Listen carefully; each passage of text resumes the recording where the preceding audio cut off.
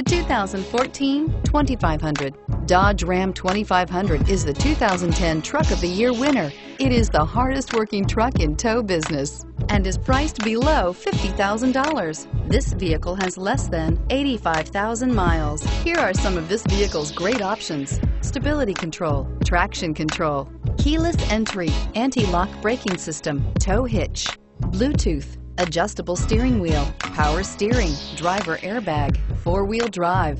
This isn't just a vehicle, it's an experience. So stop in for a test drive today.